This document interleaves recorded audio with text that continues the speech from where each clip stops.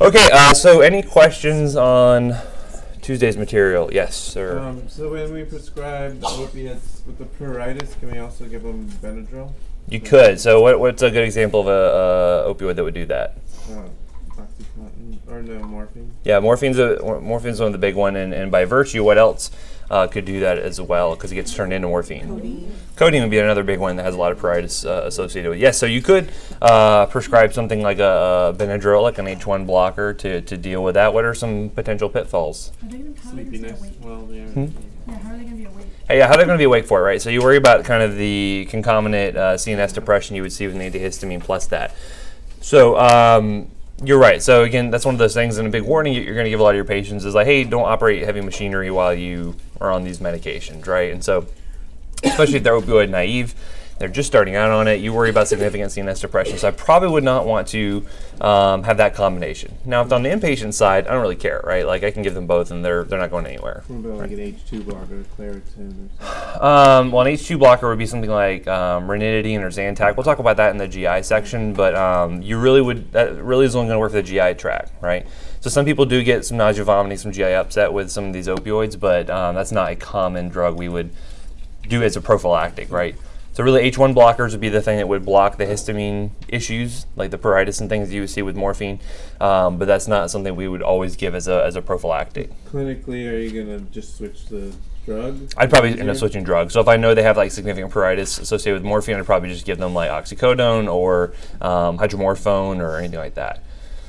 Okay. And also, do we see the same kind of tolerance build up with barbiturates as, or benzos rather, as we would with um? Yeah, absolutely. So a good point I was going to make, and, and so we mentioned that like you know you see significant CNS depression. We'll talk about adverse effects of opioids as a class in just a minute. Um, but you see tolerance to a lot of those sedative effects, right? So, for instance, when I was in fellowship, we I was helping out my um, the the director for the Poison Center. He would sometimes get called in as an expert witness for certain court cases, right? And so one of the questions we had on on a case um, was that basically a guy was filling um, a huge amount of opioids at this. Um, at this pharmacy, he had, he had a lot of chronic pain issues, so he was also getting like, you know, some some uh, antispasmodic medications, you know, some uh, muscle spasm meds they can also cause sedation and some benzos and things like that. So the guy had a lot, quite a, quite a cocktail of medications, and so then he um, got into his car, drove off, ended up getting into a wreck, and, and I don't remember if anyone died or not, but there was some injury that had occurred. So the question was, was this gentleman impaired, right? And so you could do blood levels on- on the guy and certainly see the medications were in his system, but the question is, was he impaired? That's a very difficult question, right? Because a lot of these chronic pain guys, or anyone who's on these medications long term, they develop tolerance to a lot of those sedative effects.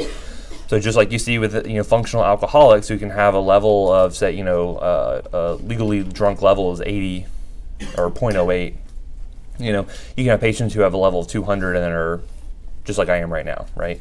I'm only at probably a level of uh, you know 0.1 or 100 um, most mornings, but you know so so there there's a large degree of tolerance, and so you can have people who are have very high levels of, of some of these medications. You can be totally functional, right? Versus someone who's naive to those effects, they would be you know under the table essentially. Um, so yeah, so they do develop a lot of tolerance to those effects. You can see the same thing with benzodiaz- uh, benzodiazepines. You can see the same thing with uh, barbiturates. We'll talk about those drugs when we get to neurology and behavioral.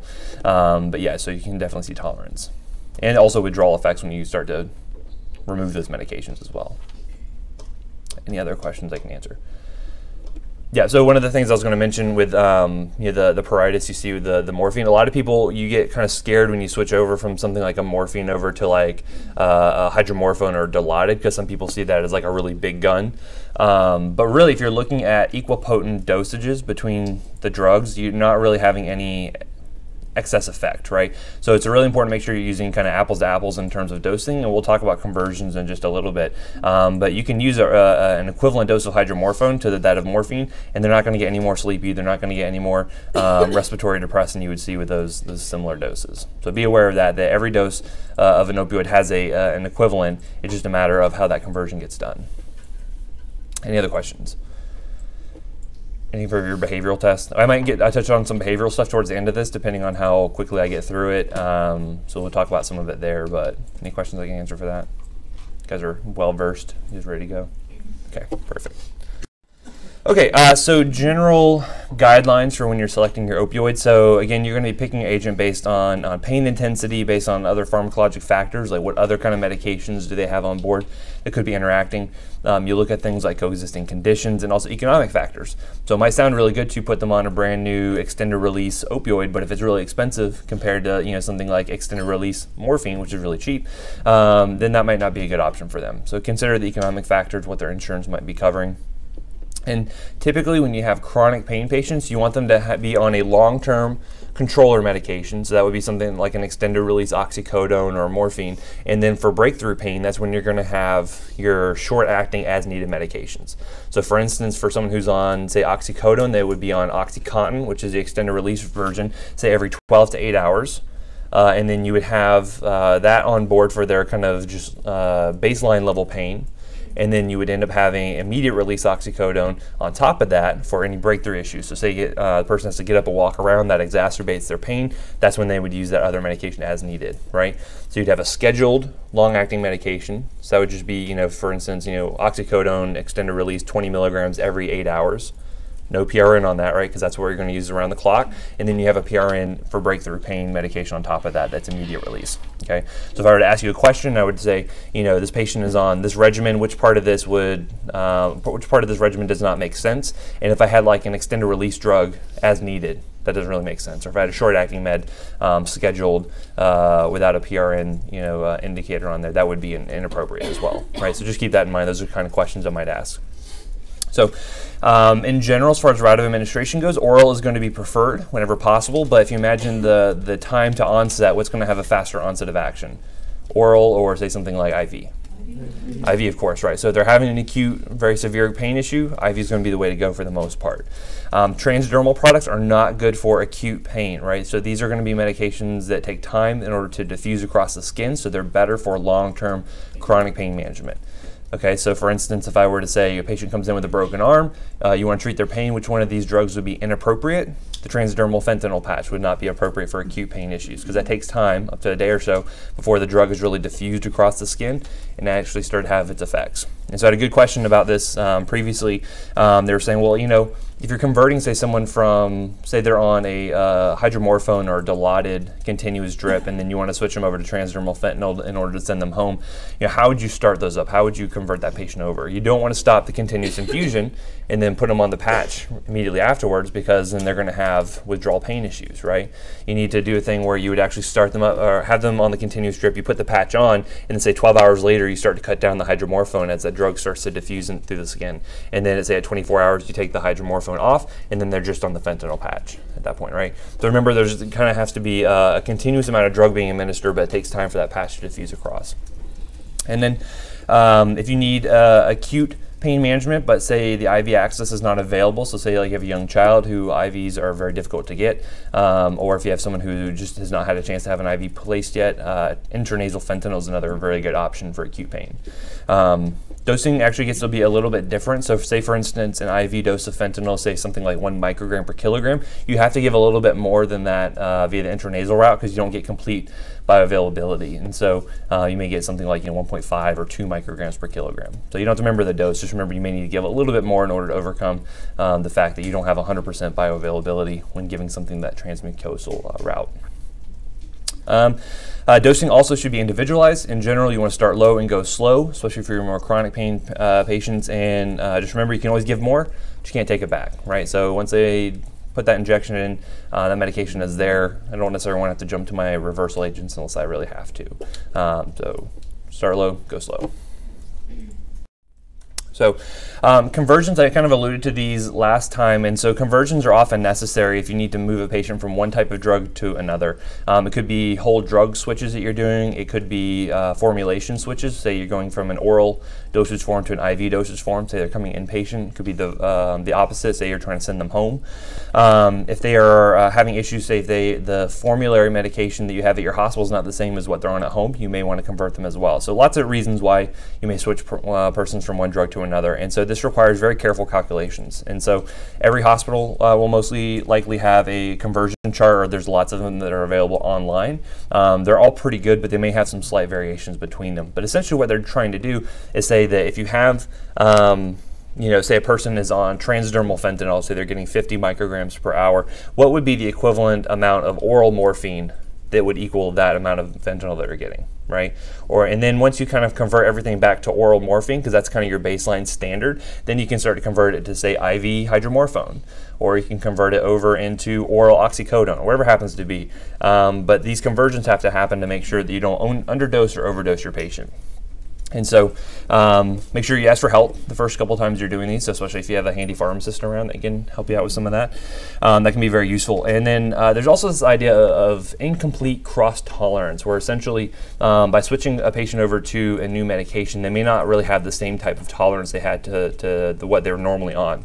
And so because of that, once you get your conversion down, um, you can actually drop your dose by around 25 to 50% to account for that. And then if their pain is not under control, then you can kind of steadily go back up on that dose. Because remember, you can always give more, but you can't take it back necessarily. And so the other big thing to remember when you're doing this, and I'll show you an example of how we do this, is to include all sources of opioids. So for instance, if you have a patient who's coming in uh, inpatient and they are on, say, uh, long-acting medication throughout the day and they're on PRN uh, medication for breakthrough pain, um, you want to convert them over to a continuous infusion of drug. Um, in order to do that, you need to take into account what they're on on their baseline, so that 24-hour kind of coverage, uh, long-acting medication, and then you want to kind of get an average of what they're doing for breakthrough pain. So, for instance, if they're on, um, say, oxycodone, you know, twice a day, uh, the extended release formulation, uh, and they say maybe take uh, immediate release oxycodone, say three three times a day on average, um, then you want to take in those three doses into your total calculations. I'll show you what that looks like in just a second. So um, this very scary chart is not anything you need to memorize. This is really just for uh, illustrative purposes. But essentially, what you can look at is um, you're looking at your patients. Let me get my laser pointer out. Essentially, what you can do is say, like, okay, I have a patient who is on oral oxycodone. I can look at their total oral dose for the 24-hour period, and then basically you can convert that back over to morphine oral equivalents, right? And then once you're back at this oral morphine equivalence, then you can change it over to whatever you want. So at that point, you can look to see what, you know, say the IV dose of hydromorphone would be equivalent to, right? Because we said that, you know, something like um, IV hydromorphone is something like 15 times more potent than oral morphine, right? And so you have to take these conversions into account, and that's where a lot of these uh, numbers are coming from, is the equivalent uh, potencies uh, between the different patients, or between the different dosage forms. And so where do you think a lot of this information came from? Yeah, a lot of it's trial and error, unfortunately. That's why you see some differences in the numbers there, because again, not everyone responds to these medications the same. So someone's conversion from oxycodone over to morphine may be a little bit different than their neighbor, right? Because of the fact they have, you know, differences in their in their mu receptors, and they have little uh, variations in how they metabolize these drugs. So these are kind of population averages. Not everyone's going to be um, reacting the same way to this, which is why you worry about that incomplete cross tolerance, and you drop your dose down, say by 25 to 50 percent, right? So uh, a good example of this. Um, and I will not ask you to do these calculations on the test. This is just for illustrative purposes. So um, say, for instance, we have a terminally ill lung cancer patient. Uh, we have Jack Smith here who's on uh, Oxycontin, which is the extended release formulation, 40 milligrams every eight hours. Pretty hefty dose, um, but not uncommon as you would see with some of your chronic pain patients. So the idea is we want to bring him into the hospital and convert him over into parenteral hydromorphone or Dilaudid. Okay. So how we do this is one, we want to determine his total daily dose of drug. So you'd say, okay, he's on 40 milligrams every eight hours, so that's three times a day. So his total is going to be 120 milligrams of oxycodone per day. If he was on kind of uh, PRN, breakthrough, immediate release oxycodone as well, you would factor that in as well to this calculation. Next, you want to convert this over into oral morphine equivalents. And so if you know that oral oxycodone is roughly one and a half times more potent than morphine, then you can figure out that based on the 120 times 1.5, you see that it is equal to 180 milligrams of oral morphine per day. So presumably, I could switch him over to give him 180 milligrams of morphine per day, and he would be right as rain, right? He would still have the same amount of analgesia coverage as he would have been on the oxycodone. That's kind of the, the idea. At that point, I can then convert him over into uh, IV hydromorphone. And so we see the IV hydromorphone is 20 times more potent. I think I might have misspoke, uh, but 20 times more potent than oral morphine. And so then you convert that over, you see that his 180 milligrams of oral morphine is actually equal to about 9 milligrams of IV hydromorphone per day. Okay, so you can see that you would not want to goof this up and say, well, he's on 120 milligrams of you know morphine orally at home. Let's put him on 120 milligrams of IV hydromorphone he would be very, very sleepy, right? Um, probably intubated at that point. So you don't want to goof that up. You want to make sure you're looking at and, and doing your conversions appropriately. On the chart, on the slide before, Mhm. you're not just reading across the whole line, so when you go down to the hundred and twenty on oxycodone, you slide over to the left and you get hundred and eighty milligrams of morphine. Mhm.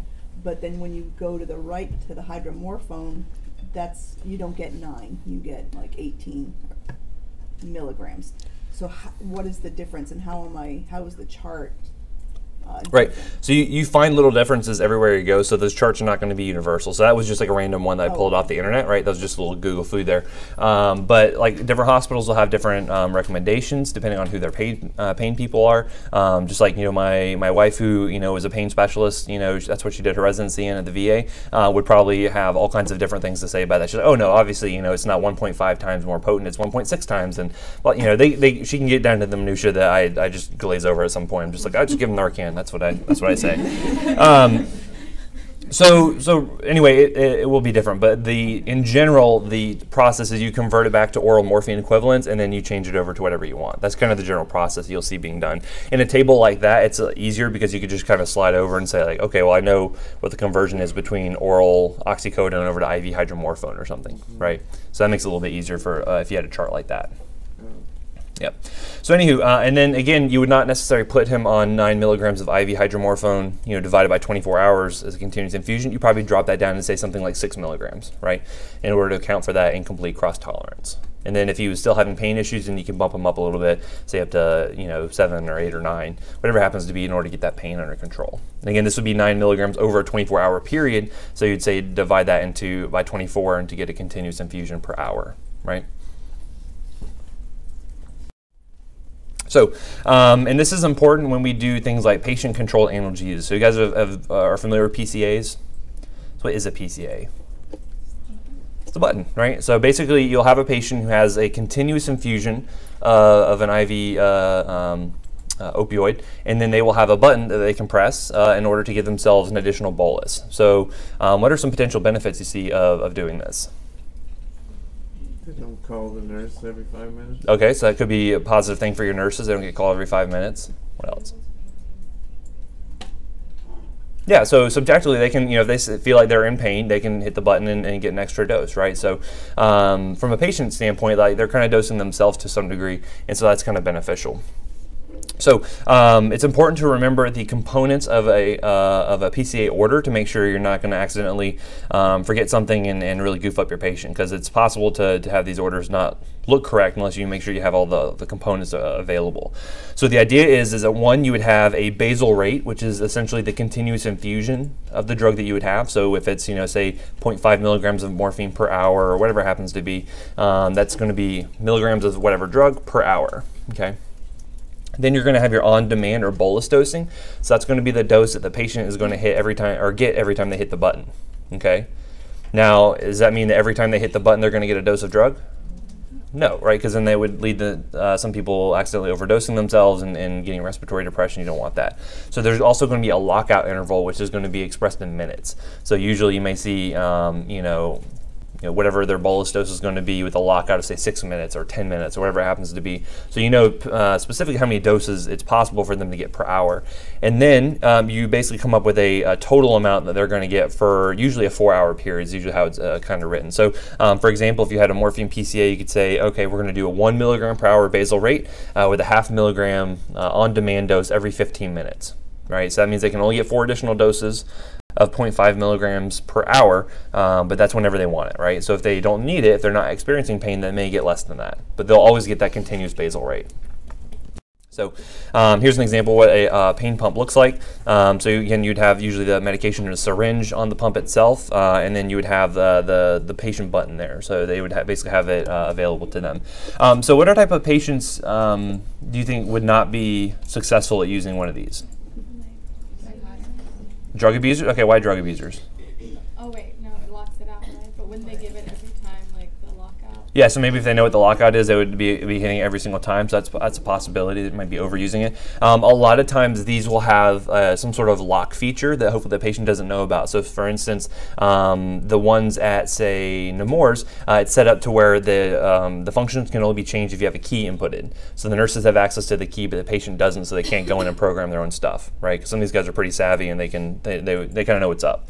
Um, I've seen other ones where there's actually a button on the back of the pump that you can hold down, and that will actually lock it out to prevent anyone from changing the, the orders until you know someone went and unlocked it. Um, so there's different features to try to uh, deter abuse from that standpoint. But what other type of patients might be um, ill-suited to use this?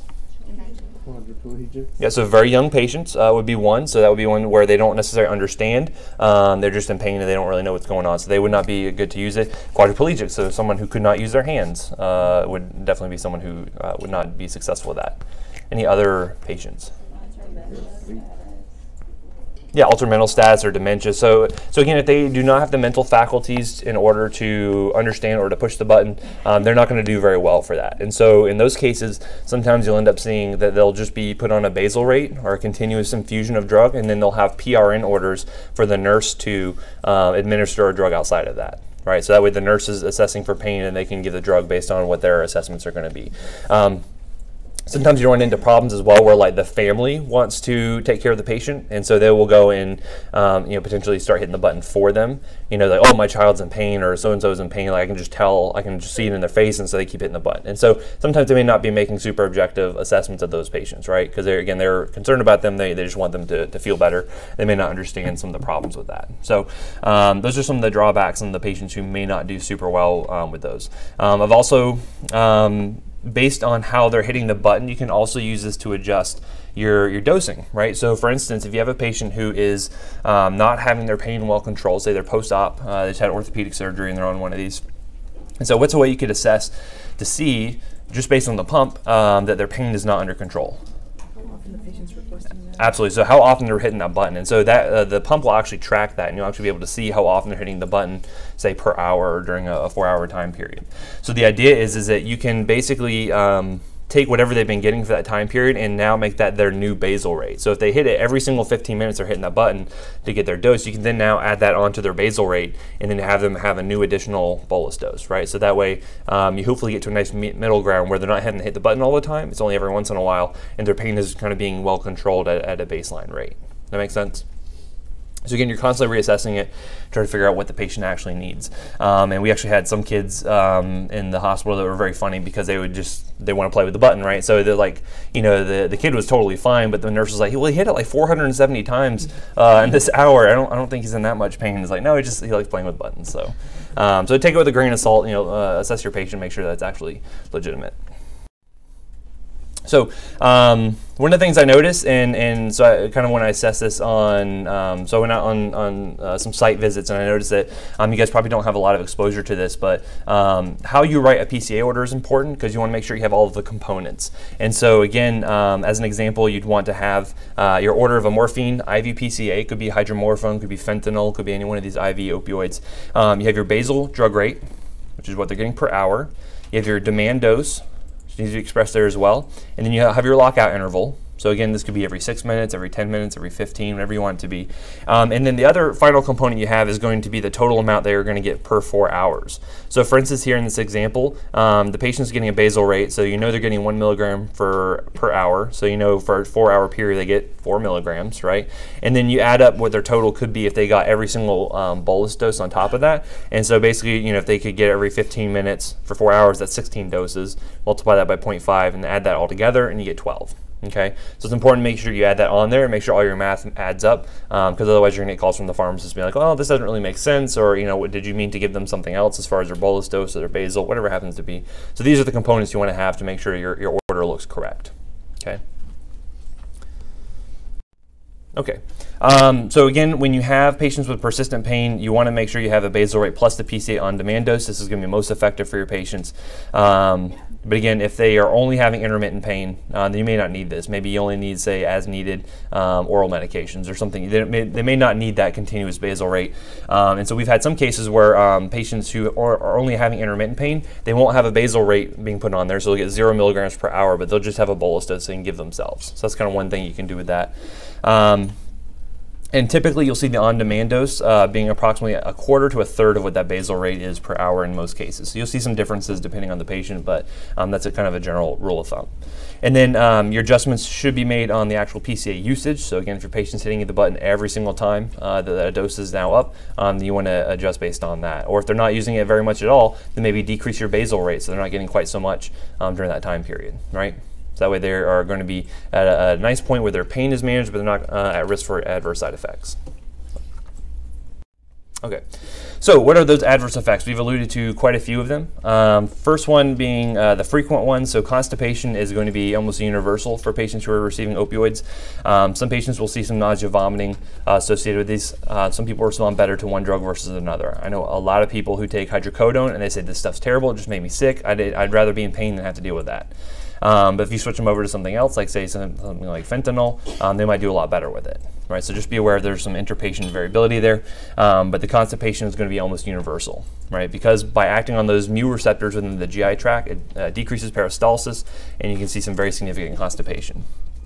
So, um, we mentioned uh, histamine release. Uh, you can switch drugs, but uh, those with, uh, from the morphine family are going to have more likely to have that histamine release. So again, probably switching agents is going to be the best thing for them. Is that why uh, meth addicts have like runny noses?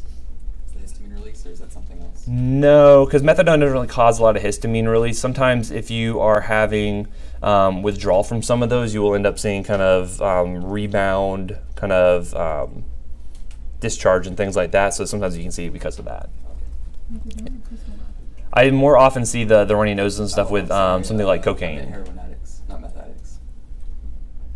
Yeah, so I, I assume you're talking about methadone or something, but um, yeah, so uh, stimulants you can also see that as well. So if you imagine like if you're abusing something like cocaine, which is um, stimulating vasoconstriction, especially in the nose, if you were to take that away, all of a sudden those uh, blood vessels start to dilate as well, and so you get that runny nose uh, from that perspective. So anywho, um, so again, less frequently you can see again will be altered mental status and delirium, and you also worry about that risk of respiratory depression. This is more frequently seen if you have patients who are um, abusing the meds or taking higher doses than what they should be, especially if there's any kind of med error that was being made. Relatively low risk if you're just using normal dosing. Um, but remember when we talked about those kids who had uh, ultra rapid metabolizing CYP2D6 and they converted all of that codeine over into morphine, especially when they're post op after their T&A and their throats are kind of swollen, um, they saw deaths associated with that. And so, um, really, the big thing you see with opioids is that they don't really. Um, when they cause respiratory depression, it's not necessarily that it's um, your body's not sensing when it doesn't have enough oxygen. It's actually blunting the effects of too much CO2 on the brain, right? And so, um, a very good example of this is um, some of the, the ER residents I used to work with. They got really bored during some night shifts, and so they would play a game called DSAT, where essentially they would put pulse oxes on themselves and hold their breath and see who could get their pulse ox the lowest before they almost passed out. And so what you actually find is it's very difficult to actually get your oxygen saturations to decrease because it's not really your brain's sensing too little O2 because you have a pretty good reserve of that in your hemoglobin. It's usually the, the rise in CO2 that your brain is responding to first. And so with these opioids, you're blocking that response. And so with these little kids who are converting all that codeine to morphine, um, even though they were obstructed and they weren't really able to expel that CO2, their brains didn't really sense it because the opioids were on board to blunt that response. And so that's where that respiratory depression really comes from in that uh, situation. So, um, and then again, worry about the risk of, abuse and diversion, especially if patients are not having their pain adequately managed. This is leading them more often to self medicate or to use doses that are inappropriate for them, uh, and they can run into some problems with that. Diversion? Diversion, what is diversion? Anyone know? Somebody else. Yeah, so um, for instance, if uh, you can see this with healthcare providers. So again, they say, "Oh, I gave my patient two milligrams of morphine," but really they just gave it to themselves potentially. You know, spit out into a cup and they gave their patient saline. Um, it happened with healthcare providers. It happened with patients. Um, so one of the things that we saw with um, some of our pain management clinics is that you would drug test patients to make sure um, th- to see what was popping positive. So for instance, if you're treating your patient's chronic back pain with hydrocodone, uh, and they came back and they did a urine drug screen and they were totally negative for hydrocodone, what would that lead you to believe? Hmm? They're not taking They're not taking it. So what could they be doing with it? Selling it, absolutely. So selling it for the drug, uh, their you know, drug du jour. So maybe it's cocaine for them, or maybe it's um, you know it's some methamphetamines or something like that. So oftentimes you actually are uh, measuring blood levels or urine levels to make sure they're actually taking the drug that they're supposed to be taking. Um, my wife told me a very funny story when she was having to deal with the, the substance abuse clinic, and they would have these um, old older vets who would um, you know come in for their medication you know pretty regularly, and of course they'd have to you know be you know get their pain assessed and all that kind of stuff to make sure the stuff's working for them. But he had this one um, really old guy was um, very um, not the not the most handsome old man you'd ever want to see, but he came in a rascal scooter, uh, you know every time to get his refill, and he had just the the most beautiful young lady you'd ever want to see on his lap. Every single time he came rolling in his scooter, had this beautiful young lady. And so eventually, when he um, got his uh, source of methadone taken away and they switched him over to something less uh, valuable, um, she stopped coming along with him. very, very sad. But um, people do a lot of crazy things for these drugs. Um, you were about selling them, which is you know diversion. You were about them, you know, someone um, instead of the patients getting it, you know, someone else is getting it. So sometimes it's very sad.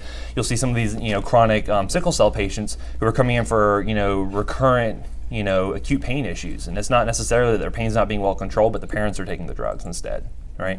So you run into some really kind of nasty kind of family dynamic issues there. Um, but yeah, so diversion can be a, a really big issue. So again, is your patient's pain not being managed because their drugs aren't working for them, or because they're not actually getting a chance to take them? So that could be a question you have to ask yourself.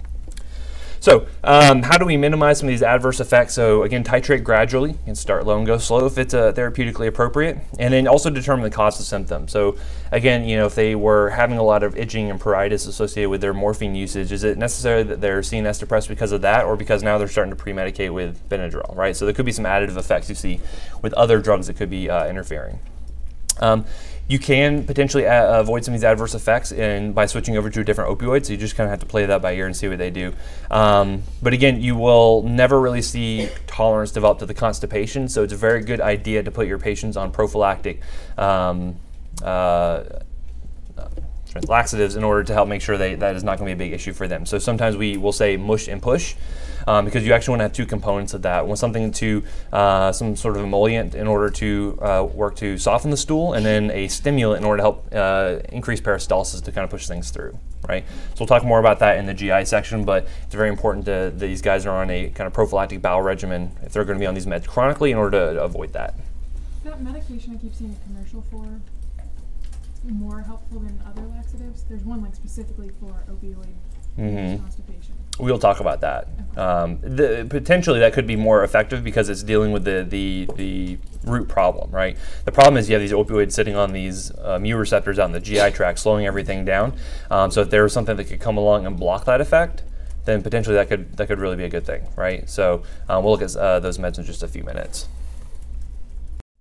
Okay, so again, um, we mentioned kind of what the point of this is, uh, or where, where a lot of the constipation is coming from. But again, recommend they're increasing fiber and fluid intake, um, as we mentioned that that bowel regimen. So adding on a uh, stool softener plus a stimulant laxative. Again, we'll cover that in GI. Um, can help to, to avoid some of this. And it's kind of crazy because we, you know, my wife would see these older uh, kind of end-stage palliative care patients, um, and they would just be very agitated. You know, their their dementia was getting worse, and they couldn't really figure out what was going on. The pain was definitely out of control, um, and it turns out they just really needed a bowel clean out. And then once you were able to clean them out, all of a sudden they felt a lot better. Their their mental status started to improve a little bit. So um, never underestimate the need to have a good poop uh, for your patients. Certainly, um, starting my baby on solids, I can recognize that fact for myself because this is, she is one cranky baby if she's not gone in a few days. So, um, so again, monitor closely. You know, uh, you may need to add additional laxatives potentially. So, especially an osmotic product like uh, a Miralax or something like that can be uh, beneficial as well.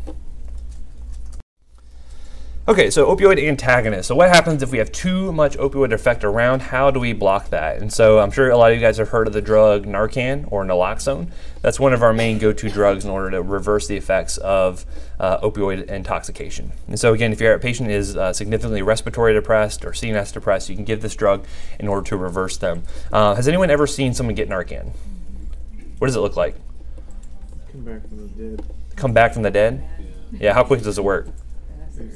Fast, very very fast. So um, if you guys, uh, there's a movie I think with like Nicolas Cage and Ving Rhames, just called like Bringing Out the Dead, where there are a couple of paramedics and they do this nice like exorcism scene where they give a guy Narcan. Um, so you'll watch that, and that's exactly what it looks like. So you can have a patient who's completely comatose, on the verge of being intubated. You give them a dose of Narcan, and they will wake up just like that. Um, usually in total withdrawal, and they are very pissed off that you uh, reverse all, all those opioid effects, and so. That can be another kind of uh, negative point. So dosing is going to be really important when looking at um, giving something like naloxone. But the point is, is that naloxone will kick the opioids off of that receptor and they act as an antagonist. So it basically blocks the receptor from the opioids working. And so very rapidly you can have a return to normal CNS function, normal respiratory function um, after even one dose. So this drug is not given orally because it does not get absorbed very well, which is why you can give it with something like buprenorphine and have that Suboxone. So that way it actually deters IV abuse because the drug doesn't get absorbed orally. But if you were to inject it, then you potentially have that antagonist effect uh, working against you. But um, Lots of other routes we can give this. We can give it uh, via intravenous route, which is probably most common, um, in, intramuscular route. This is actually a new product called Evzio, which is very similar to a uh, EpiPen. Uh, and this one actually talks to you as well. And so the idea is you train um, other people around the patient that if they do have an adverse effect, if they do become especially CNS or uh, respiratory depressed, they can actually administer this intramuscularly. Because again, if, uh, if you're opioid overdosed at that point, um, it's not going to be very easy for you to give yourself a dose of this medication, not very coordinated. So someone else would end up having to give this to you. But it goes through all the instructions. You basically pull off the top and it says, okay, apply this to the thigh, and then you know push down and, and injects the medication. And so there's also kind of expanded programs as well where more people are getting, um, they're being given doses of naloxone as kind of a prophylactic. And so some people are worried that this enables drug abuse, but in a lot of cases you see decreased uh, opioid deaths, which is probably going to be a net positive for society in the long run. So uh, you may see some controversy about that. Um, uh, the intranasal route is kind of interesting because I've seen some patients, uh, and this could even be inhaled. So um, some things I've even seen is where you actually put naloxone into a, a nebulizer cup, like meant for you know, nebulizing things like albuterol, and you actually put that on the patient, and they kind of passively start to inhale the drug, and then as they kind of wake up, they'll pull the mask off, and then they'll kind of resedate themselves, and then they'll put the mask back on, and they'll kind of wake back up, and so it's kind of a nice kind of self-titrating uh, dose of, of naloxone. Because the big drawback to giving this drug is you put your patients into withdrawal if you give too much right? So if you take all those uh, opioids off the receptors, they go into withdrawal, they get super nauseous, they're going to throw up, they're going to have diarrhea, they're going to be sweating, they're going to be fighting you, um, and they're not really going to be, your nurses are going to hate you, right? So, um, big thing to remember there is that you can start with lower doses and gently titrate up in order to achieve just kind of the perfect balance where they're breathing, but they're not necessarily um, in a very uh, kind of angry mood that you reverse all their drugs, right? So the ideal way to give naloxone is to start with low doses until they start to yawn, that's the kind of point where you know that they have a good respiratory drive and they can uh, protect their own airway. So if you see them yawning, that's usually a good sign. Um, there are a couple of other agents you can give as well. Um, so again, this drug works, naloxone works because it crosses the blood-brain barrier and blocks those centrally working mu receptors.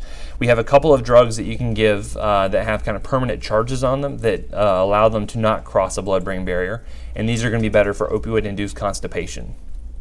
So uh, if you see that OIC, so some of those commercials are going to be for. Um, these are drugs that do not cross the, the uh, blood-brain barrier. They work only on the GI tract to help relieve that. And so um, you have drugs like alvimipan, methyl naltrexone, and uh, naloxegol um, are all going to work very similarly to one another.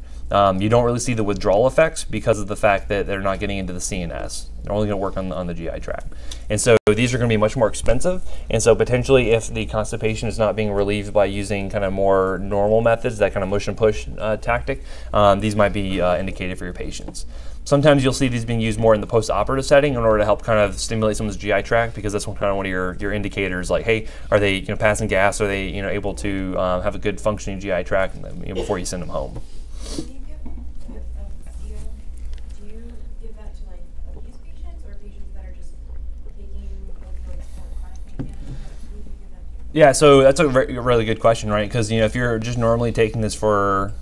you know, I got my wisdom teeth taken out, that doesn't really make sense, right? Because you're kind of low risk for uh, uh, having an overdose like that. These are more for abuse patients. They're patients who are high risk, or say, for instance, they are trying to um, kick their opioid habit. You know, say they're on like on a methadone program or a buprenorphine program, um, but they're high risk for relapse.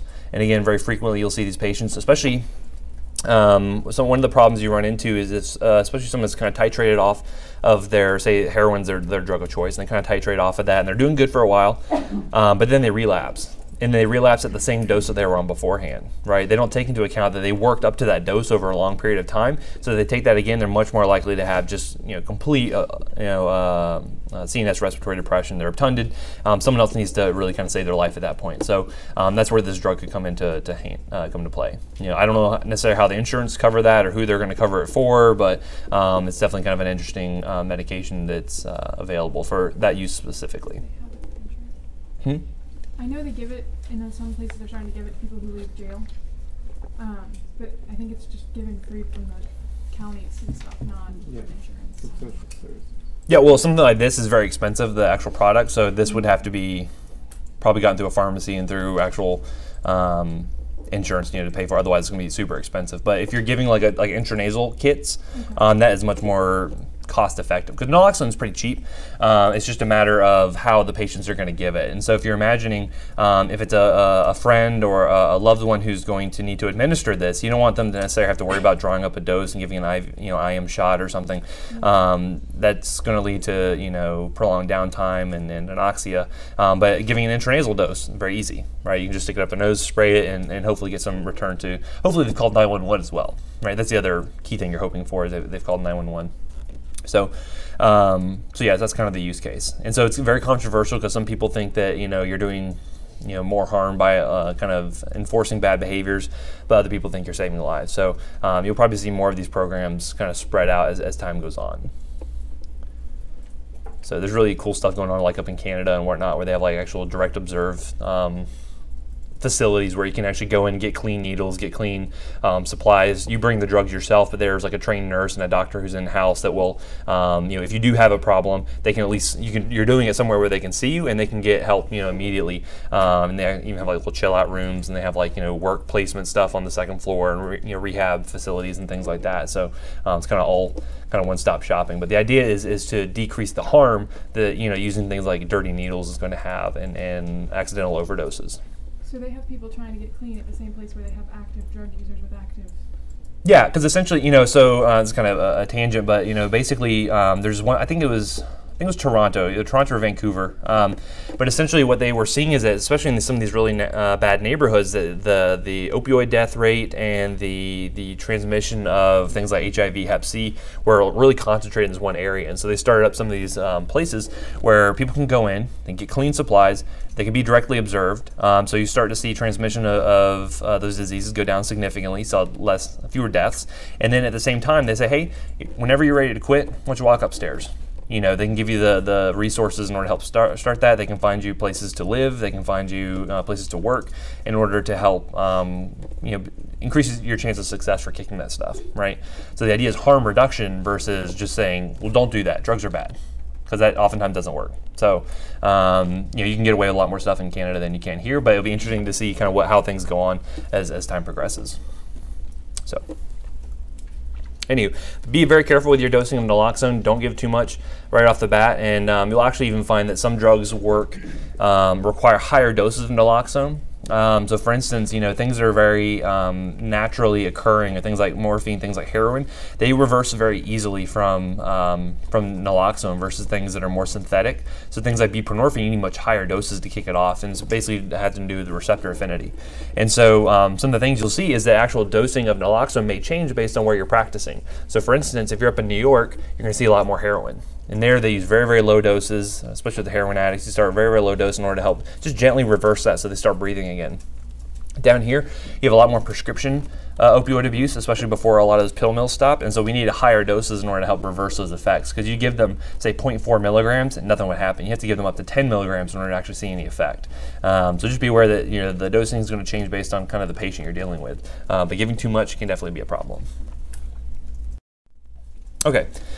So moving on, uh, we will talk about some other adjuvant medications, uh, and so we'll see that many chronic pain conditions respond pretty well to adjuvant drugs, um, particularly when you're dealing with neuropathic pain. Um, so some of the drugs you'll see being used here include some anticonvulsants. Uh, we'll talk about lidocaine and other uh, um, local anesthetics, and then also things like tricyclic antidepressants, which um, some of these we'll talk about in, in future lectures. Um, you'll see that response is pretty variable. And so, um, excuse me. So that patients um, who don't respond well to one class may um, respond well to another one. So again, it's, it's, worthwhile that you know if they don't work very well the TCA, you switch them over to, to one of the anticonvulsants. They may work better with that. So. Um, some other uh, medications you're going to see, we'll talk about a few of these, um, but certainly things like skeletal muscle relaxants can help, especially if you have patients who have really kind of big spastic uh, spasticity issues. Um, you'll see things like uh, tramadol, which is kind of an opioid, which we'll talk about a little, bit, uh, and even things like capsaicin. Does anyone know where you find capsaicin normally? Hot peppers. Hot peppers, yeah, absolutely. So capsaicin can actually be utilized uh, as, a, as a pain treatment as well. Um, even, um, you know, especially not just for cosmetic use, but you can even use botulinum toxin or Botox in order to help uh, deal with uh, some spastic conditions and also make them look 10 years younger, right? Um, and then we'll even talk about medical marijuana because that is a hot new topic, right? Absolutely. All right, so um, some of the antiepileptics, we'll get more into detail on this when we go into the um, neurology section, but basically um, we've seen these to be pretty effective in, in many neuropathic uh, pain conditions. Lots of different ones we can utilize like carbamazepine, gabapentin, lamotrigine. Um, key thing to note with these is that they all work to kind of slow the CNS um, they're going to have additive uh, CNS depressant effects with a lot of your opioids. So again, you want to start with low doses and kind of gently titrate up to see how they respond to this. Um, giving too much is just going to lead to way overdoing it on the CNS depression and can lead to kind of premature failure of therapy before you're really getting a chance to, to work.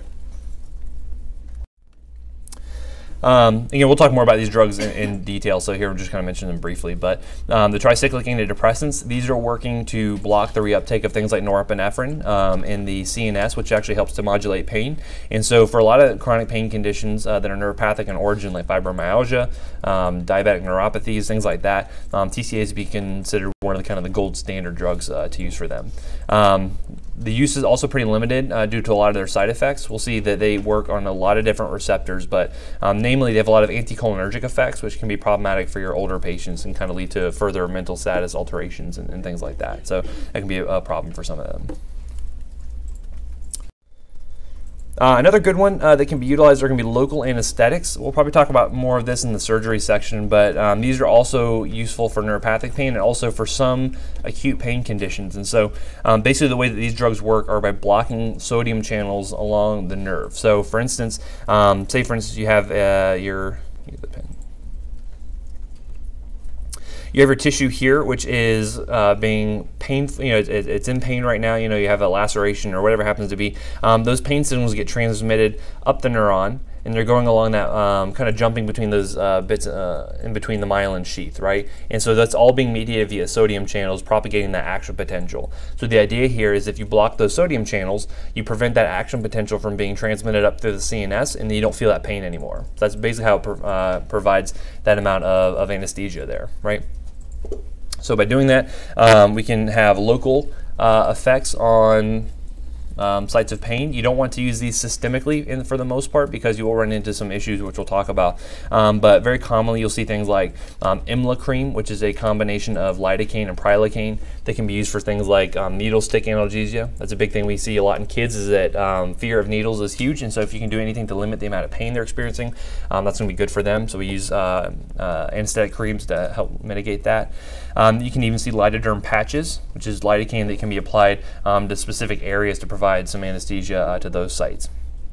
And then we mentioned uh, epidurals previously, where you use things like bupivacaine being applied in the epidural space to kind of decrease um, sensation from whole regions of the body. So you can do kind of regional blocks as well. And one of the big things I see that's very useful um, we have kids that will come in for lacerations. So, for instance, um, say you have a nasty finger laceration that you want to sew up. Um, I can give you a lot of opioids in order to help deal with that pain, but instead, what I can actually do is give a bupivacaine digital block, which will actually just be uh, applied directly at the at the base of the finger. That will end up numbing up the entire thing. And bupivacaine is a drug that has a very long half life, so they'll actually be numb for like two days and won't really need any kind of pain medication for that. So that can be a very beneficial thing that is definitely opioid sparing in a lot of cases. Um, you can also see like uh, more regional blocks. So sometimes you'll see, you know, um, especially after orthopedic surgery, like knee replacements and hip replacements, whole areas of those will be blocked with some of these local anesthetics in order to help decrease the amount of pain the uh, patient is sensing and decrease the amount of opioids they need to receive. So that can be another beneficial thing there. Um, big adverse effects you see from these um, uh, local anesthetics is that they get infiltrated into the systemic circulation. They're very, very cardiotoxic because they block all sodium channels, including on the heart. And so we already mentioned that lidocaine can be used as an antiarrhythmic, um, but something like bupivacaine is very, very uh, potentially fatal if uh, it gets to the heart. Shuts down all the sodium channels. You basically get put into asystole very quickly. So um, that's one of the things to definitely be um, be cognizant of. Any questions from the break? Anything at all? All right, so um, we will continue with the skeletal muscle relaxants, and so this is probably the big place we'll talk about these drugs here. Um, quite a variety of them. So you have things, uh, some of which you may have heard about, things like Flexeril or cyclobenzaprine, baclofen, um, some other ones. Um, these primarily work uh, to help we, with patients who have kind of more spastic issues. So if you had like um, um, any particular kind of could be nerve damage or it could be other things where basically the, muscle is just tensing up and, and, causing significant pain. These drugs can work for that. And so they primarily work by agonizing GABA B receptors. And so uh, you guys have heard of GABA, I'm sure, right? What does GABA normally do in the brain? It's inhibitory, right? It's a major inhibitory neurotransmitter. And so um, you'll see that a lot of things like our um, benzodiazepines work on GABA A receptors. These are working specifically on GABA B receptors. So the idea is, is they work centrally, they increase chloride flow, and they hyperpolarize a lot of those neurons to try to keep them from, from firing. And so ideally, if you were looking to use a muscle relaxant, you'd want things that work peripherally, uh, working specifically on the muscle. This is really working more up in the CNS, but it's kind of the best thing we have. And so as you might imagine, by uh, influencing these GABA receptors, the side effects that go along with these are pretty, um, pretty easy to figure out. So um, biggest thing you're going to see is drowsiness associated with these. And so if you imagine putting these drugs on board on top of an opioid, um, you can see some synergistic effects on that drowsiness there. So um, again, make sure your patients aren't operating machinery after taking these drugs, especially for the first few doses, um, because they can uh, have some significant CNS effects. But they can help, uh, especially with patients who are doing like kind of physical therapy or physical rehabilitation um, help them to regain some function uh, and allow them to um, have better you know, use of their limbs. So it can be uh, useful drugs there. Uh, next, we have capsaicin, which we uh, alluded to being found in many hot peppers. Um, does anyone know what to do if you accidentally get some hot peppers on your skin or say in your eyes or something? Vinegar? Vinegar? Hmm, I haven't seen wax use before. You want to use fats, essentially. Um, you want to use things that will help, uh, because this is a, a very lipophilic um, molecule. It goes through skin very well, but it can also be taken off by partitioning into uh, a fat layer. So uh, essentially, uh, by using things like olive oil or mayonnaise or anything else that has a high fat content, you can actually help to deal with that. So you know, frequently, uh, if we have patients who have, say, been hit by like pepper spray, or had an accidental um, uh, that accidentally going off, or if you are cutting jalapenos or something and you get that on, on your skin or something like that, can be something useful um, to help deal with that. The way it works for pain, though, is it actually helps to uh, first fire off those fibers. So initially it causes pain, but it helps to release uh, this thing called substance P, which helps to sensitize a lot of those fibers to pain. And so by giving it consistently and giving it chronically, you end up depleting those nerves of substance P, and so they really don't have anything else to fire off with, and so it helps to decrease pain that way. So this is uh, good for localized pain conditions. Um, it is um, good only if it's used consistently and used for long periods of time. I can't just use this once and expect to get any therapeutic benefit, which is why compliance is pretty uh, poor with this drug. Um, but it does work very well for those that have a localized effect uh, if they use it consistently. Of course, the big thing they need to uh, be worried about is if they, uh, you know, they need to wash their hands really well after using it, because otherwise, if you do the thing that I always do when I'm cutting jalapenos and you know rub your eye, of course, um, it's not going to be a good time for them, right? So be aware, make sure they're washing their hands well, um, and just be aware that they uh, let them know that the stinging and the pain is going to go away over time. Um, don't stop use of it too early. Since it's long acting, though, can it cause like potential permanent um, damage to nerve fibers in the skin? I haven't seen anything where it uh, causes permanent damage because as soon as you stop using it, um, that substance P will start to re- uh, replace itself. And so it'll start to build up those normal stores again. Yep. Good question, though. Okay, so another drug which is opioid-like is tramadol, otherwise known as Ultram. Um, this one is actually kind of a weak mu agonist, so it kind of works uh, a little bit at the opioid receptors um, and is used for more kind of moderate, maybe uh, moderately severe pain. But this isn't really going to give you the same kind of bang for your buck as you see with something like uh, morphine or an oxycodone. Um, some of the benefits uh, that it has for working on neuropathic pains, it actually helps to block reuptake of things like norepinephrine and serotonin, that 5-HT.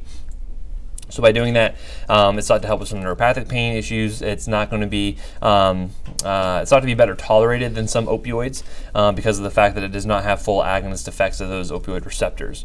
Um, so for a long time, we thought that you know no one really abused this drug. This drug is, is very safe to use, um, no abuse potential, and so it was not uh, put as a scheduled substance. It used to not have any kind of uh, federal scheduling. Um, but then people started to abuse it, and of course, you know, a few bad apples ruined everything. Um, and so recently, it actually was made a C4. So this one you do need to have. Um, you, you do have some of those regulations now being placed on that. Now that it's not a uh, now that it is a controlled substance.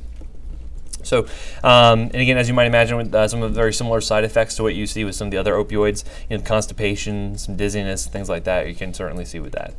Um, sometimes you'll see it co-formulated with uh, acetaminophen, and that's that Ultracet there you see. So, next thing we'll talk about is medical marijuana. So this is uh, finally Morgan & Morgan did it.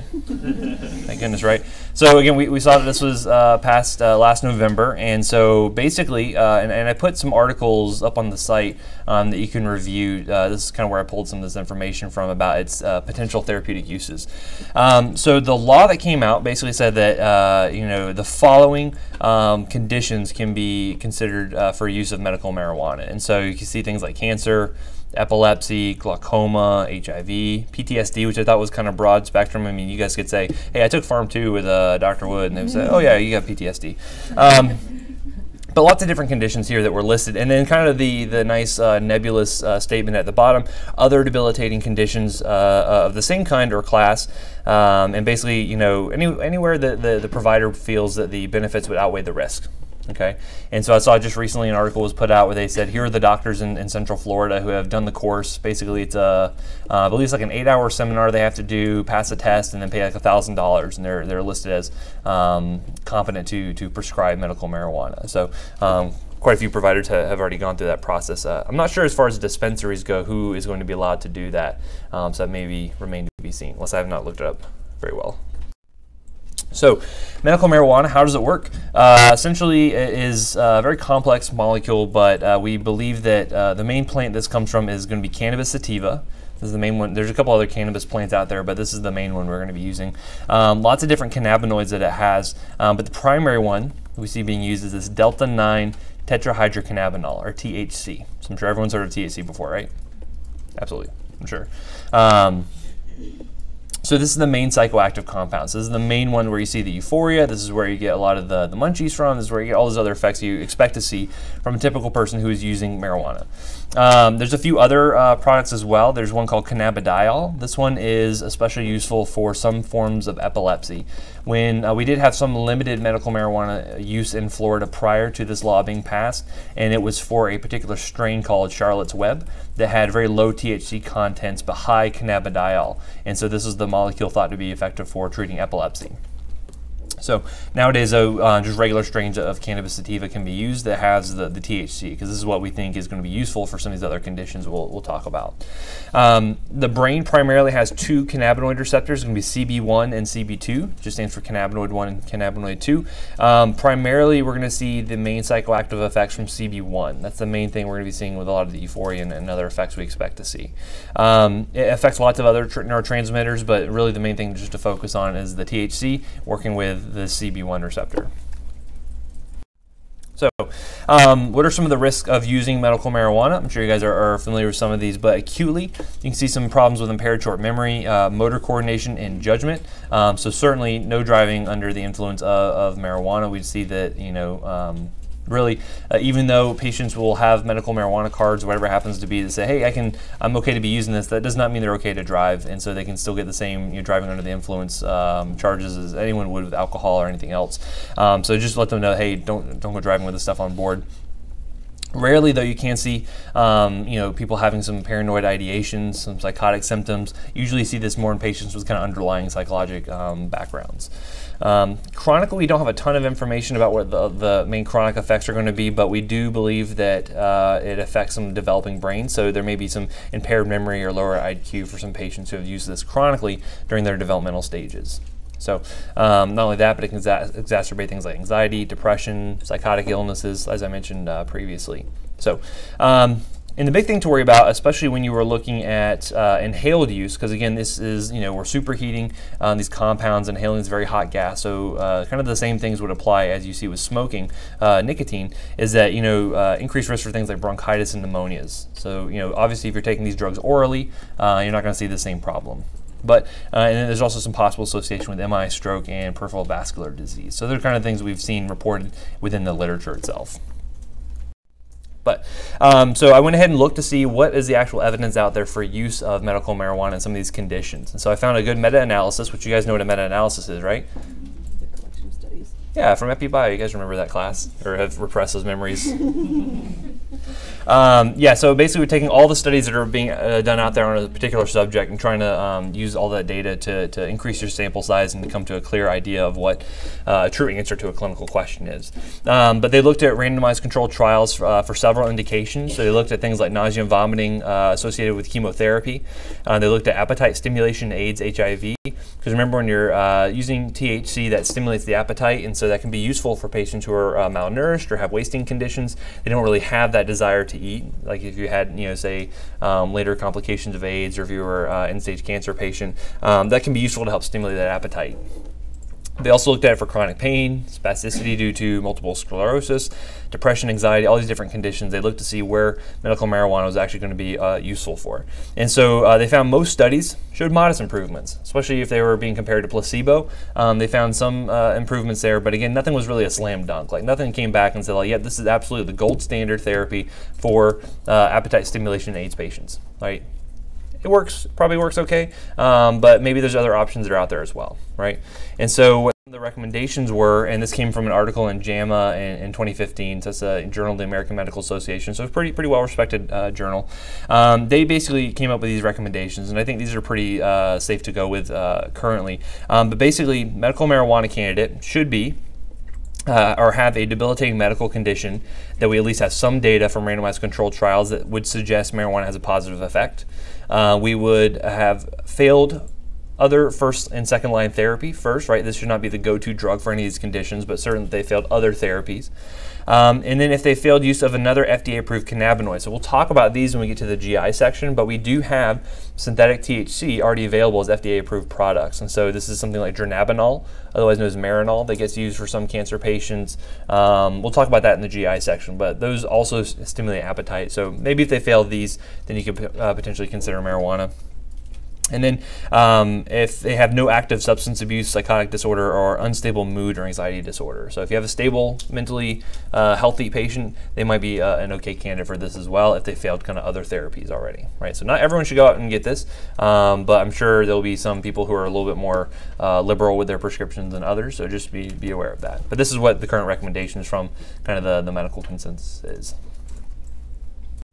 So, um, other things to consider uh, with looking at the pharmacokinetics, I didn't have a whole slide on this, but um, consider the pharmacokinetics uh, when looking at medical marijuana. So uh, if you were to inhale, uh, say you were to smoke the marijuana, how fast do you think the onset of, of action is?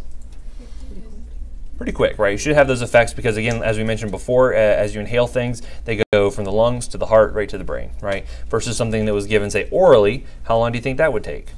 45 minutes. Think 45 minutes? Does anyone else? That was, that was a pretty quick answer. Does anyone else think?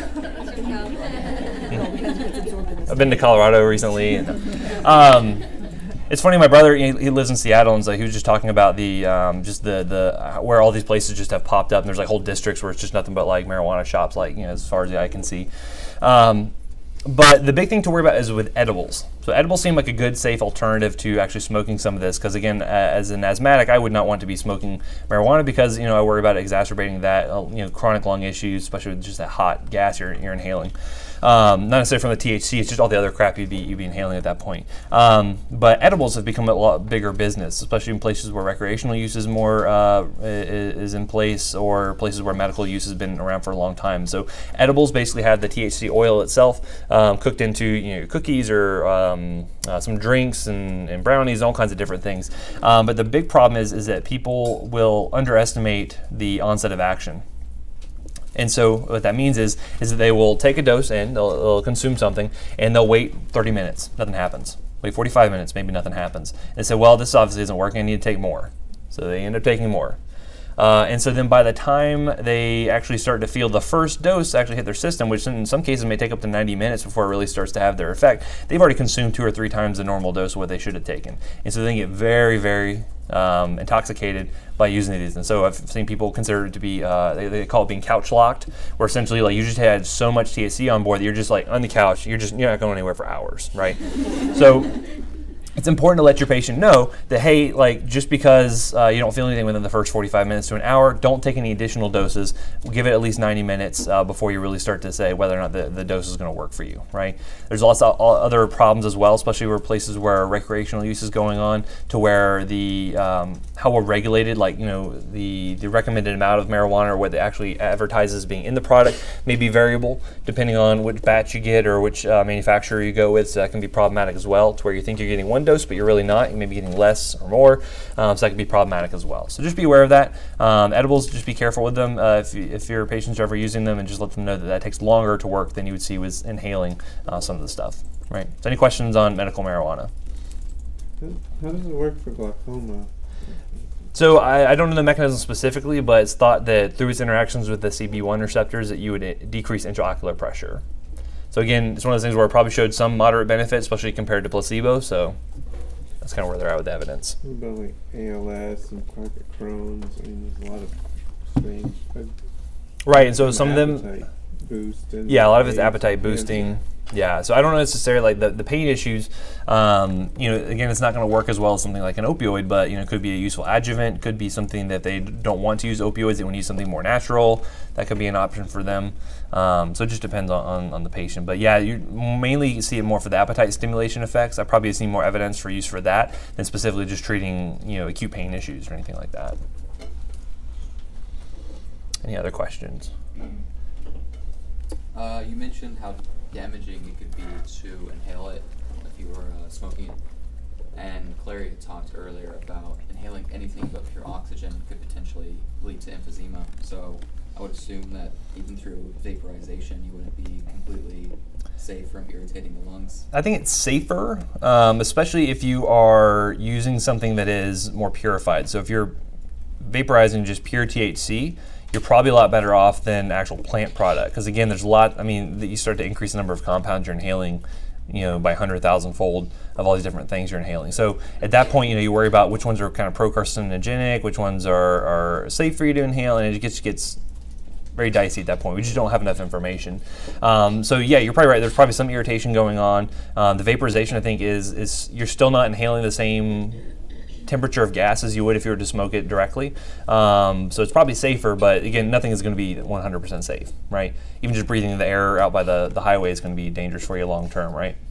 Well, even just by proxy of the temperature being like 360, 420 degrees Fahrenheit, in the lungs that would do damage. That I mean, yeah, heat damage absolutely. I mean, you see the same thing with smoking cigarettes. Is just that that heat um, causing you know that dysplasia of the cells because they're responding to that. They're being injured. You know, that's where you can see a lot of um, cancerous changes happen to the even in, without the effects of the other stuff you're inhaling, the tar and all and all of that.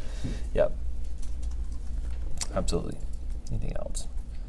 Okay, so again, this will probably get more information as we get it out there and more people are using it more consistently, but um, definitely an interesting change to see how it'll affect our practice going forward. Um, but anyway, so conclusion, uh, pain management, it's pretty complex uh, as we've seen, um, and treatment really should be individualized to your specific patient. So again, not one thing is to, not one strategy is going to fit every single patient you deal with, um, but educate them well, um, look at your guide, um, or help them to guide selection, titration, conversion uh, of different dosage forms, and then make sure you're assessing for effectiveness as you go for. So using your pain scales appropriately, make sure you know what their baseline is, how they've changed, setting those goals with them to where you know some patients may never get down to uh, to a one, um, but maybe going from an eight to a six is going to be great for them, right? So come up with those goals uh, in conjunction with your patients, um, and then you can help them manage the side effects as well. So any questions on that section? Okay, so we talk a little bit. Of, oh yes. I don't know. Actually, I've not looked into the law that um, directly. I'm not sure if um, any of the mid-level pr- uh, providers will be able to do that. It'd be interesting to see, though. Yeah. Still Schedule One. Federally, yeah. So federally, marijuana is still considered a Schedule One. So at any point, the government can come in and say, "Nope, taking all your marijuana away," um, but they've just chosen not to, right? Um, which is probably a good thing in the long run, especially with like jailing people for marijuana offenses and, and things like that. So uh, it's probably a, a societal plus. Uh, it may be controversial. I don't know. I should not record. I'll Cut that out of the recording. um, so anyway, so um, yeah, so so moving on, we'll talk about venous thromboembolism. That is a another very potentially serious consequence of orthopedic surgery, as we'll see. Um, we've talked about a lot of uh, the medications we're already going to use for this previously, so we'll just kind of, if you need to review those slides, please go back because again, that will be testable material, so just be aware of that. Um, but we know VTE is going to be a potentially fatal disorder.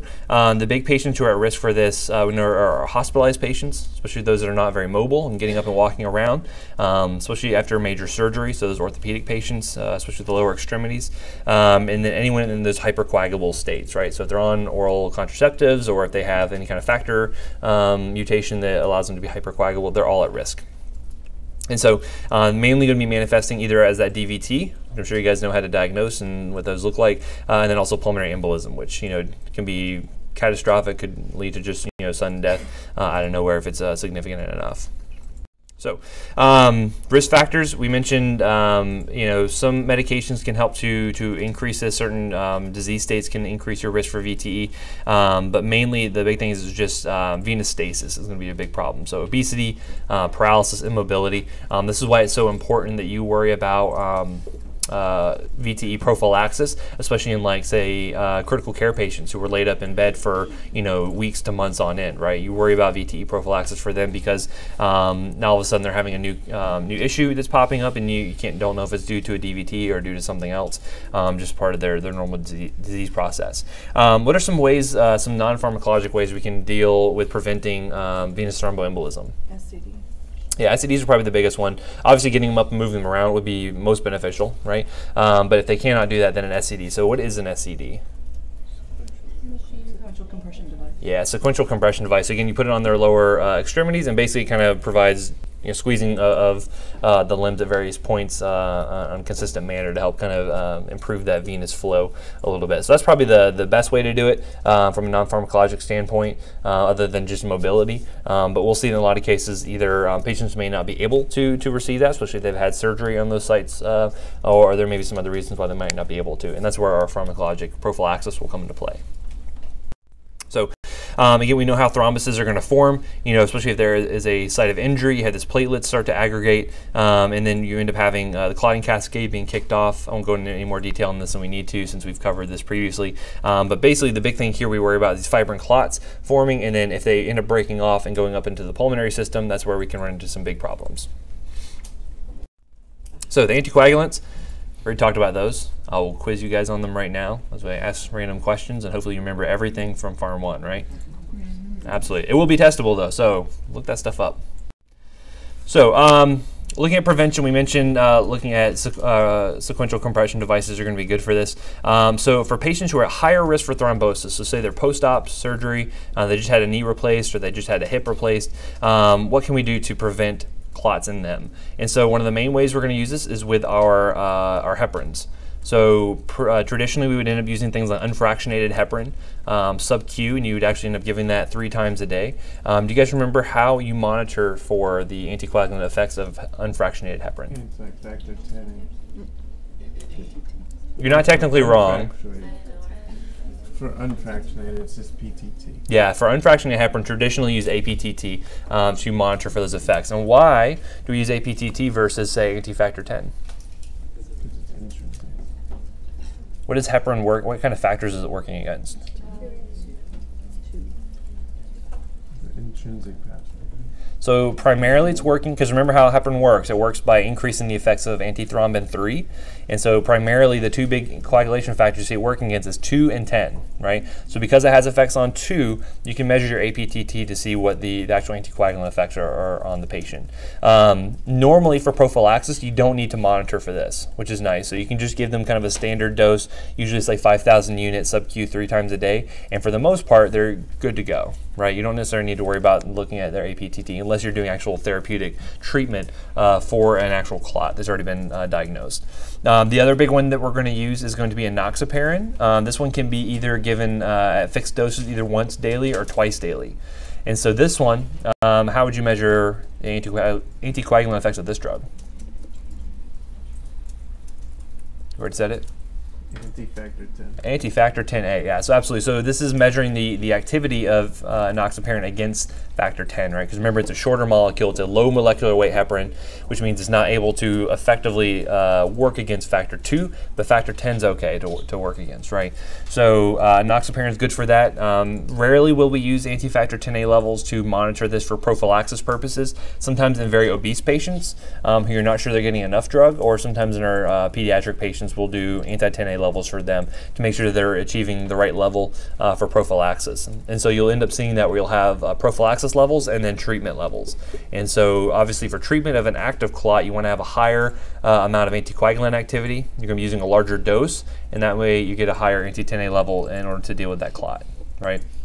So the idea is by giving the anticoagulants, you prevent the clot from getting any worse and allow your body to naturally clear that away by using things like um, you know, doing um, uh, clearing away that fibrin, uh, fibrinolysis, right? So you want to do that naturally. It's a shorter molecule. Why is the half-life longer on the enoxaparin? So um, it could have just been engineered that way, so that way it, um, you know, it's manufactured to stick around for longer. Perhaps you know the liver is not really able to, to bind to it as easily. Um, to smaller, it's harder to get a hold of. potentially, yeah. So I'm not sure uh, specifically why that is, but you know, with the larger molecule, perhaps it's just easier for the, the liver to kind of start chewing that up and to where putting it into less effective molecules, right? Um, so that's probably one of the main ways that, that that's happening.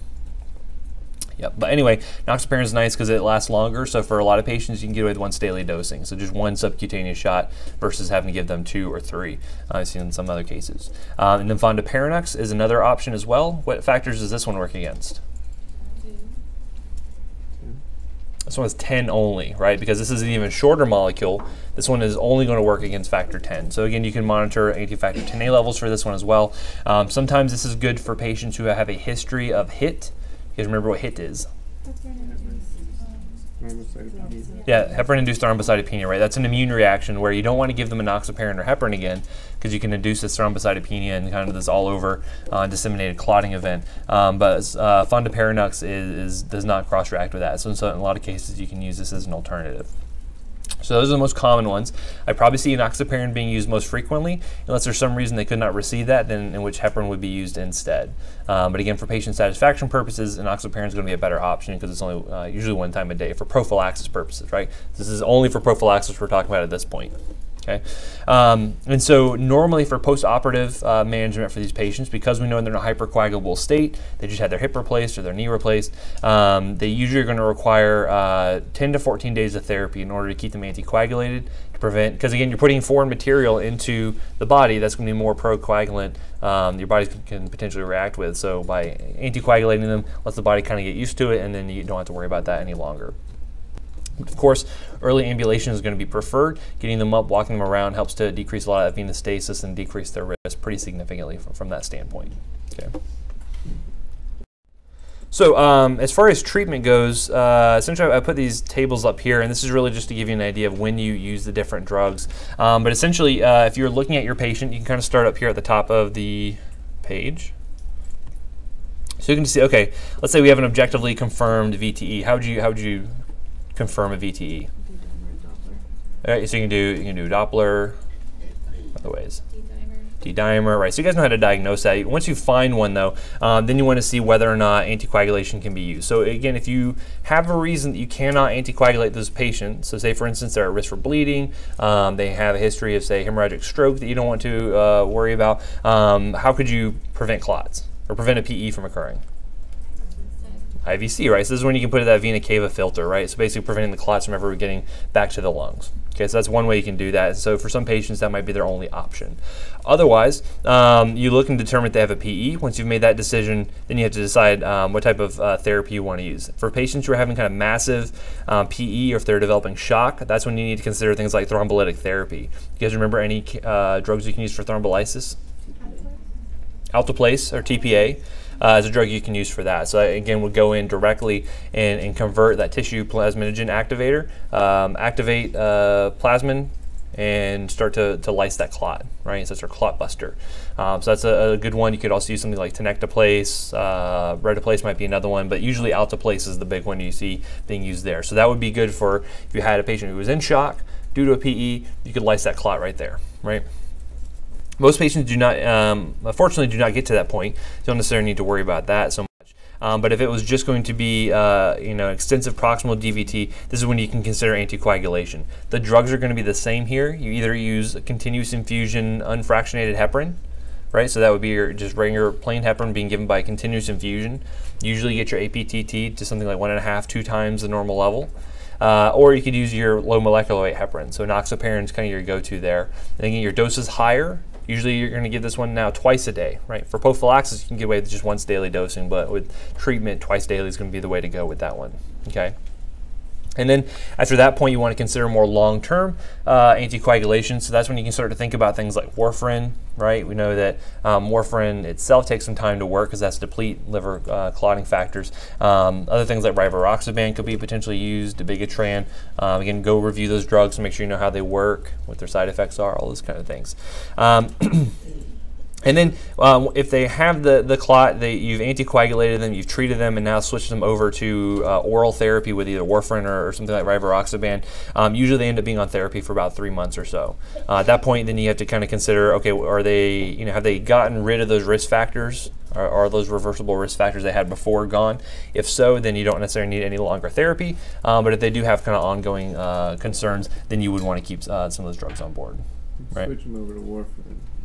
The goal is to, um, when you have the initial diagnosis and you need to uh, therapeutically treat them, start with those heparins. Uh, and then you switch them over to oral therapy, right? But again, you have to do that bridge therapy where you continue the enoxaparin or the heparin. Um, you start up the warfarin because warfarin's effects are not going to be immediate, uh, and then eventually, once that warfarin gets INR, right? Because that's your monitoring parameter for that. Once that gets up to, you know, say, um, you know, between two and three, um, then you go ahead and you can stop the heparin all the while you're monitoring for bleeding and, and all that good stuff. Okay. So any questions on that? The, the anticoagulants that are given for um, the patients on with AFib, are they also effective?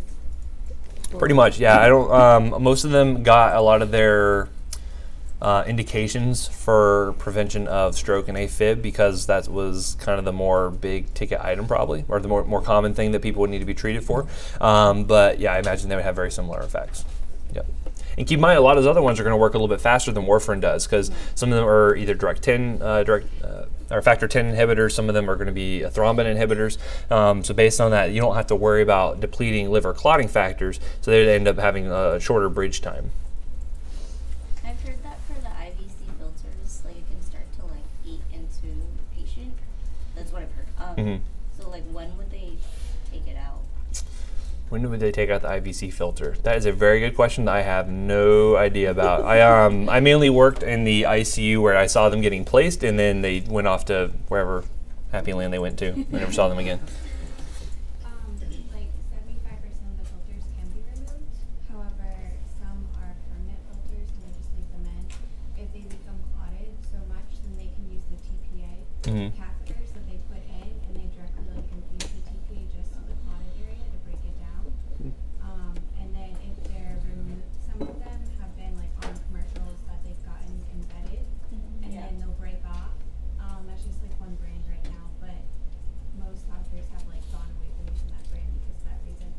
But they have a bunch of new ones that are coming out that they're easier to remove Mhm. and they're more, um, they don't actually have hooks that go into the vena cava. Hmm, interesting. Thank you. Thank you for that answer.